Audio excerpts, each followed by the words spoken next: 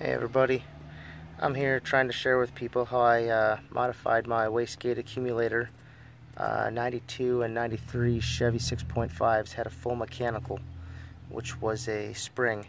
Now what you see here is the spring and two of the cups from inside the actual production accumulator, which looked something like this.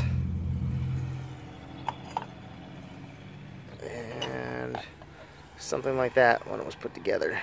So what I did is I took a grinder and I ground this ring off. It came apart. Inside you find this rod. Had two nuts on the end of it. And that came out of the center, which allowed me to take the spring and the two cups and use them in this application.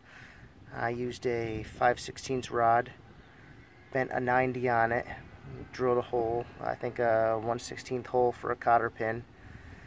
I did have to turn down the rod to put the threads on it, otherwise it makes a big old mess. One of my first attempts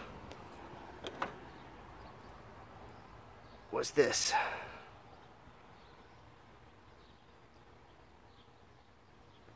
And it didn't work so good, it didn't slide through this plate right here. Now this plate I did make, I don't know if you can see it real well. It uh, has the contour that it needs to to bolt right on there. I traced out the design from the old one. Um, all of this you can build yourself at home, well, almost.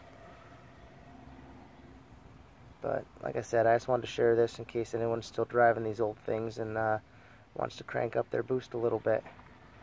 Got a, uh, a lock nut on the end of it, so hopefully it won't vibrate off.